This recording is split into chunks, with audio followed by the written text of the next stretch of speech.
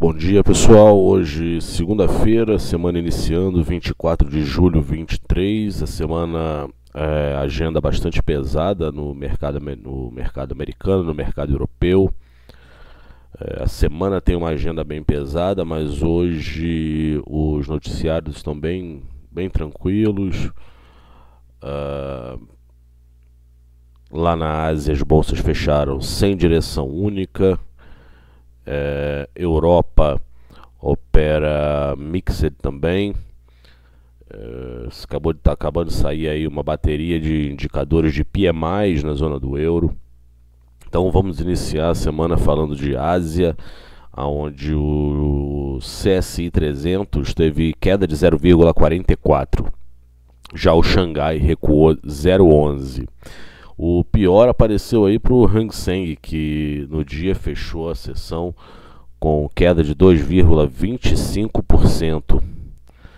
A gente tem o Nikkei subindo forte 1,17%. O Cospe subiu 0,72 e o Topics 0,84. Lá pela Oceania, a Austrália fechou com leve queda na margem de 0,1%. Uh, ah, eu tenho aqui apenas três highlights do mercado asiático, para vocês verem como a sessão hoje está fraca. Uh, leitura preliminar no Japão para julho do PMI medido pelo S&P Global. É o PMI composto japonês, ele se manteve em 52,1 pontos leitura preliminar para julho do, do PMI pelo S&P Global, o composto japonês manteve-se em 52,1 pontos. O banco americano JP Morgan vê desvantagem de 35% para o maior construtor da China à medida que problemas aumentam. É necessário aí que a China inicie o processo de estímulo, principalmente ao mercado imobiliário, onde é a maior parte do seu produto interno bruto. Os investidores estrangeiros voltam aos títulos chineses na esperança que o Fed pivote. Deixa eu só conferir aqui, está saindo tá saindo PMI manufatureiro no Reino Unido. A gente vai chegar lá, fiquem tranquilos. Nesse momento está saindo PMI Manufacturing uh, para julho. Uh, deixa eu colocar o gráfico aqui do Nikkei, a bolsa japonesa, prontinho, está na tela.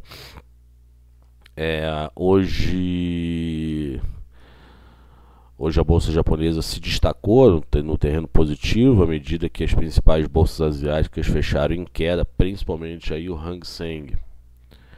Então a gente tem aí na tela, como vocês podem observar, eu, eu avisei aí no, no, no relatório, eu, eu, recalibrei todos os gráficos. É, a gente teve aí semanas de, de decisões bastante importantes decisões é, políticas, decisões política monetária, uh, e acabou mexendo aí na estrutura e na tendência dos nossos indicadores, dos nossos índices. Então, com isso, eu recalibrei uh, todos os nossos gráficos aqui, ok? É, o Nikkei continua aí na tendência de alta, apesar de ter rompido a LTA, ele, tá, ele tenta voltar aí uh, para a base dos 33.300, 34 mil, aonde seria os 50% do FIBO uh, abaixo dos 31 mil, aí eu mudo a cabeça para possíveis vendas. Até lá o mercado segue firme na compra, como mostra aqui o Nikkei, a bolsa japonesa. Vamos de Europa agora, onde a bolsa alemã na margem sobe 0,05, a bolsa parisiense trabalha com queda de 0,22. No início dos trabalhos no Reino Unido, a bolsa por lá uh, tem uma alta marginal de 0,05. Já a bolsa italiana uh, não mexe, 0,01 Uh, ah, 0,74 de queda em Madrid, na bolsa espanhola. A os operadores reduziram as apostas de um aumento por parte do Banco Central Inglês, o BOE, colocando aí as probabilidades em um pico de 6% na taxa, agora para essa possibilidade 50%, traders reduzindo as apostas de um aumento do BOE, 50% aí probabilidade em alcançar um pico de 6%. Deixa eu trazer o gráfico aqui da bolsa alemã. Observe aí, eu também fiz mudanças. A, a bolsa alemã tem esse canal aqui, ó, bastante claro de alta. Observem que ele volta para a LTA. Vamos dar uma olhadinha aqui, ó. Tô dando zoom na tela para vocês. Ele, ele volta para a LTA e ele trabalha nesse momento, ó aqui, ó, acima da LTA, pessoal. Volta para o corredor, volta para o canal de alta, a bolsa alemã. Vamos observar como é que vai ser o fechamento. Isso aqui é um gráfico diário, o candle de volume ainda está sendo construído. É, isso aqui é, é momentâneo, é do dia, ok? E nesse momento aí trabalha acima da LTA, voltando para esse canal aqui de de alta. Então vamos ver se ele rompe essa resistência nos 16, 180 uh, e, e, vai lá para os 16,500 ganhando força até os 18 mil. Importante aqui sinalizar que ele volta para o canal de alta. Vamos dar uma olhadinha aqui, ó. o mesmo acontece para a bolsa na Inglaterra ela volta a trabalhar aqui ó, acima do canal. No caso, como o gráfico ainda está sendo construído para o dia de hoje, ele ultrapassa essa linha de tendência de baixa de curto prazo, volta para a linha de longo prazo, linha da, na LTA, e trabalha sobre a linha. Então vamos ficar atentos aí se ele vai voltar a dar continuidade ao movimento altista ou aí se de vez ele perde aqui e volta para esses patamares aqui, onde ele ficaria preso no, nessa lateralidade aqui é, de aproximadamente 7 mil pontos, ok? Aonde ele se manteve aí, ó, por grande parte, por grande período aí do, do de 2021, por exemplo. Ele andou o segundo semestre praticamente todo aí, bastante lateral, entre 7 mil pontos, tá? É, essa aqui foi a bolsa na Inglaterra. Vamos dar uma conferida, porque lá saíram os PMIs, como havia dito. É, PMI industrial na França, leitura para July. O esperado era 46 pontos, veio 44 pontos e meio, significa então abaixo do consenso do mercado o PMI composto francês, leitura para July, o esperado era 47,8 pontos, veio 46,6 pontos. PMI do setor de serviço francês para July, 48,4 pontos era o esperado, também veio abaixo, 47,4. Na Alemanha, PMI composto para July, o esperado era de 50,3 pontos, veio abaixo também, 48,3 pontos. Já o PMI industrial alemão, o consenso era de 41 pontos, o número veio menor, 38,8. O PMI do setor de serviços para July na Alemanha também veio abaixo do esperado. O mercado aguardava 53,1, o número veio 52 pontos a gente teve a, o PMI industrial na zona do euro, leitura para July, esperado 43 pontos e meio. O número veio aquém do esperado 42,7. Já pelo S&P Global, o PMI composto para July na zona do euro 49,7 pontos era consenso. O número veio menor 48,9. A gente tem uh, o PMI do setor de serviços para July na zona do euro. O esperado 51 pontos e meio. O número veio praticamente em linha, veio 51,1 ponto. Ah, como havia dito, acaba de sair o PMI no Reino Unido. Uh, o PMI composto esperado 52,4, o número veio bem abaixo, veio 50,7 pontos.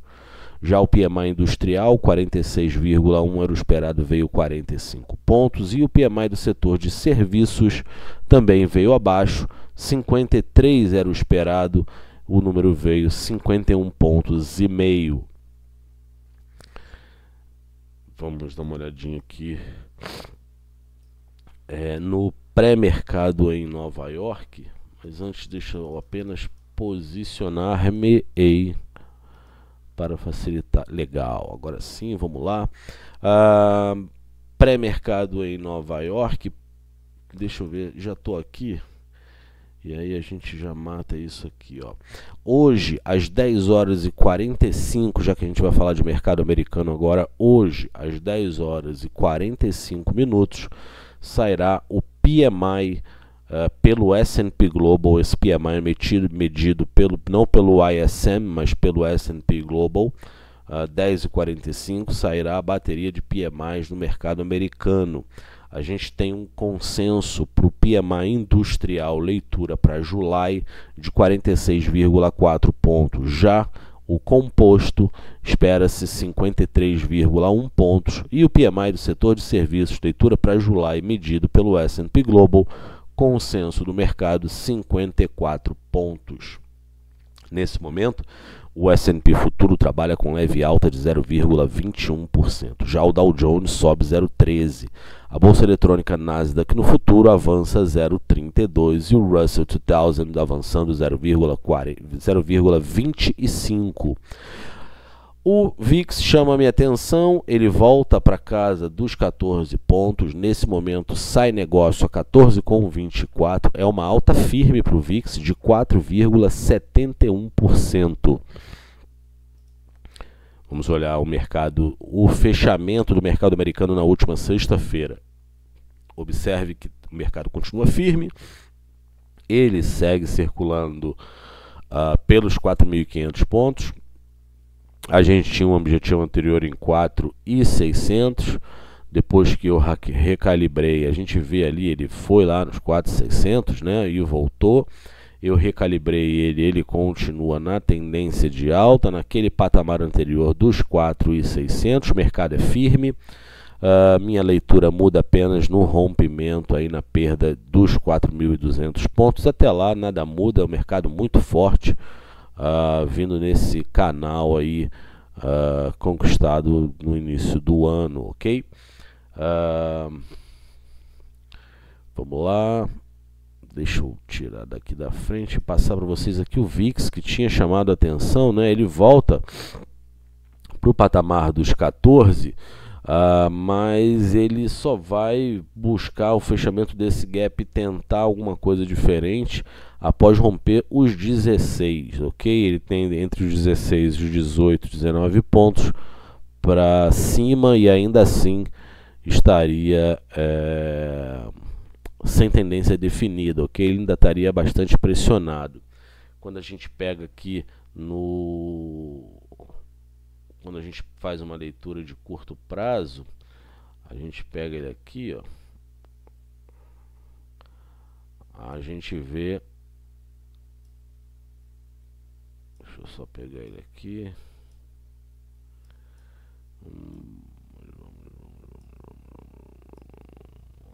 Pronto. Observem que ele tem ainda uma uma tendência aí de curto prazo uh, pressionando essa tá pressionando essa LTB aqui ó. Agora sim. Então ele tem que passar por aqui a região mesmo dos 14 e dos 15 para ganhar corpo e voltar para quem sabe lá os 18 19 no VIX ok por enquanto bastante pressionado aí o índice de volatilidade. Para ele não mudou muita coisa, pessoal. Tá bom? Uh, vamos agora então falar sobre commodities. Vamos comentar sobre commodities. Na tela, na tela aí já está a grade de cotação. O WTI tem leve queda de 0,36%, enquanto o Brent recua 0,42%. Para o WTI sai negócio a 76,77 e o barril do Brent 80,76. Uh, não tive nenhum highlight aí para o início dessa semana uh, sobre o mercado de petróleo, ok? O gás natural opera com leve queda de 0,04 e a gasolina sobe 0,13 e o óleo de calefação recuando 0,25. Na referência europeia, alta agora de 2,31%. Nos metais, o ouro trabalha na margem com valorização de 0,03, valendo 1.960 dólares a onça Troia, e a prata recua 0,31, 24,49. Uh, o cobre cai 0,75, ainda sem muita definição sobre os estímulos pelo PBOC, o Banco Central Chinês. Uh, a gente vai continuar tendo aí uh, commodities pressionadas, uma vez que o maior, o maior importador delas a economia arrefece. A gente tem aqui nesse momento, uh, a gente tem um milho subindo 2,96%, a gente tem uma soja avançando 0,35% e mais um dia de alta firme, 4,28% para o trigo. Lembrando que as commodities, os grãos e os softs operam aí bastante pressionados.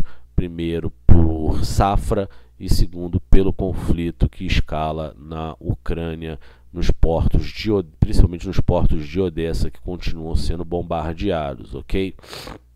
Aumenta a, a insegurança, é, tão logo é, você já não tem mais os navios, uh, os navios graneleiros aí partindo uh, para as exportações. Uh, no gráfico do no gráfico do milho, a gente vê aqui uh, ele acima dos 5 dólares e 73 cents por bushel, continua aí bastante comprador o milho. É, lembrando que no longo prazo, se não fosse a guerra, é, o milho estaria com é, uma milho teria estaria, dando continuidade ao seu movimento baixista a primeira pela melhor nas condições da safra medida pelo USDA na semana passada, né, lá no Corn Belt, uh, quanto aqui também o Brasil com o, o maior volume aí de safrinha sendo colhido na sua, na sua série histórica, ok? Então, o fundamento do milho hoje é para baixo devido a uma grande oferta, mas a gente tem que levar em consideração que a Ucrânia é um importante exportador de grãos e, no entanto, as commodities seguem bastante pressionadas com preços pouco mais elevados à medida que o conflito por lá não se resolve, ao contrário, ele escala ainda para cima. Então a gente tem um milho aí uh, pensando em voltar lá no patamar dos 6 dólares o bushel, por enquanto 5,73, uh, avançando 2,92% nesse momento. Uh, mercado firme aí para essas commodities por conta do conflito o, do conflito Rússia e Ucrânia e a tensão lá nos portos do Mar Negro, ok?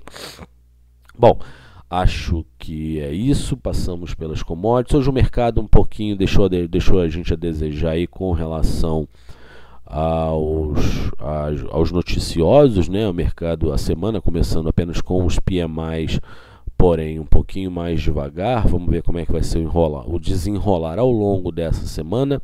Uh, fico por aqui ao longo de todo o pregão. Uh, desejo a todos uma excelente semana de negócios. Uh, muita atenção hoje, é, muita atenção para essa semana que a agenda é, vai vir, vai vir carregada, ok? Bom, até lá. É, muito cuidado aí com a volatilidade do mercado, faça seu gerenciamento de risco. Qualquer dúvida, estamos por aqui. Temos um compromisso marcado amanhã para o nosso panorama matinal. Bom, mais uma vez, muito obrigado a todos, bons negócios e até amanhã.